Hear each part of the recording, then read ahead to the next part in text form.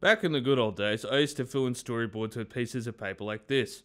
I'd draw in my little sketches and I'd fill in like a little description under it. I would then scan the pieces of paper and clean them up to give them to clients.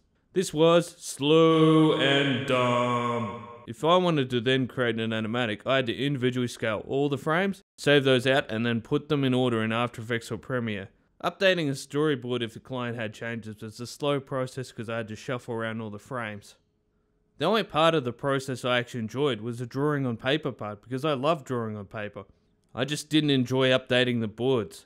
Later on, I tried other software. I tried Flash. I never really liked the drawing tools in Flash. For some reason, I did this out of habit rather than finding a better solution. For the last month or so, I've been using a piece of software called Storyboarder.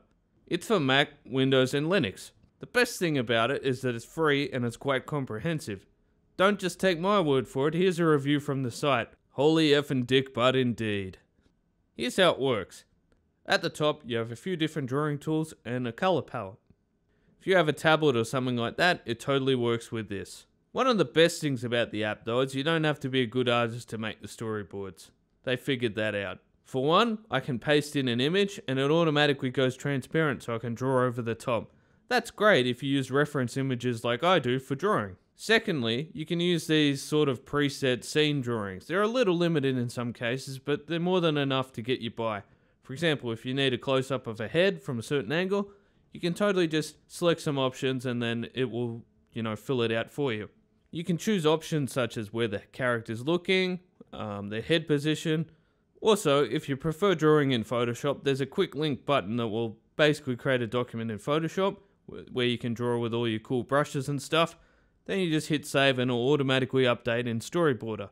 Every time you make a scene, that particular scene has a properties panel, so you can set the length in frames, any dialogue, or even notes. The thing I like most about this piece of software, it's almost like combining the storyboard and the animatic process. Previously, I would work on a storyboard, get that approved, and then build an animatic, and then get that approved. This whole app is just speeding that whole process up because once you're done, you can actually pump out like a Premiere file that is an animatic with all the shots timed. You can also pump out a PDF if you want to just show the client or whatever.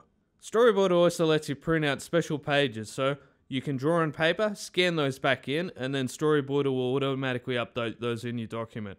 The only downside of the app is that if you use the preset drawing tool, which you know, creates characters for you and stuff. You can only control what one character is doing. So new characters are stuck in this like T pose basically. If you're interested in the software, click on the link in the description. This has been Motion Friend. Have a good day everyone.